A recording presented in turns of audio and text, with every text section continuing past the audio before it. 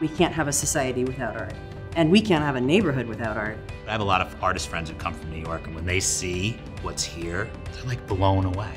We create an environment that just brings all these different talents and people from all different backgrounds together. The Gateway Arts District is um, just a, a gem for, for artists and for anybody who cares about the arts and community.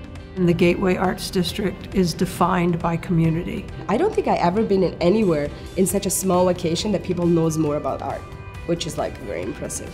What I feel more than anything else is, is the satisfaction of belonging to a community of artists. I think we have something really unique here.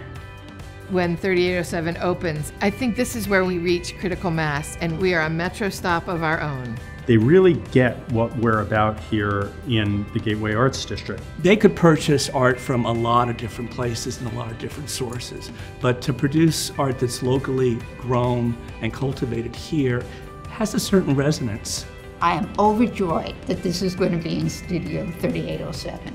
I'm very excited to have my work at 3807 where a whole lot of people will be able to see it. So I'm just hoping that these colors and the color applications will be as exciting as what we're building here. I live in the Gateway Arts District and you can find my work at Studio 3807. You can see my artwork at Studio 3807. Check out my piece at Studio 3807. I look forward to seeing you around the Gateway Arts District.